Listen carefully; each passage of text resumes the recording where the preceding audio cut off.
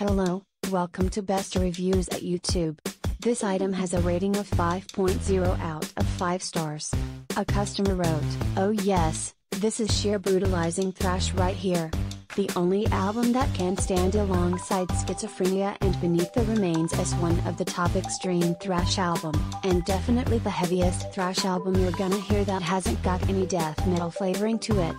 And it stands up to lots of old school DM as well. Listen to Covenant, then this. Darkness Descends absolutely obliterates it, not quite as endlessly fast as Reign in Blood, but pretty close and definitely heavier. Possibly the heaviest album in the world at the time of its release, though Seven Churches is very close, completely ferocious guitar tone and a true drumming onslaught from the legendary Gene Hoglan. Solid vox from Doty as well. Nice vicious snarling that isn't overly theatrical, though it may take some getting used to for some. Of course, heaviness slash intensity are hardly the only, or even one of the main measurements in the quality of a metal album.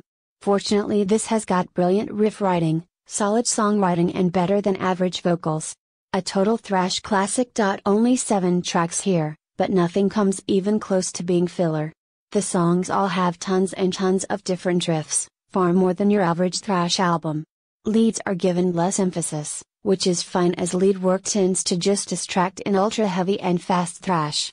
Though what they do have is pretty good, if not terribly distinctive or memorable, the hunger of the undead is definitely the weakest thing here, but it gets the job done. Not filler by any means. The Burning of Sodom is probably the best track despite the very silly lyrics. Probably the fastest thing here as well, but it's got clear, well defined riffs and a rather catchy chorus. Dot dot. Thank you for watching. Please give the thumbs up,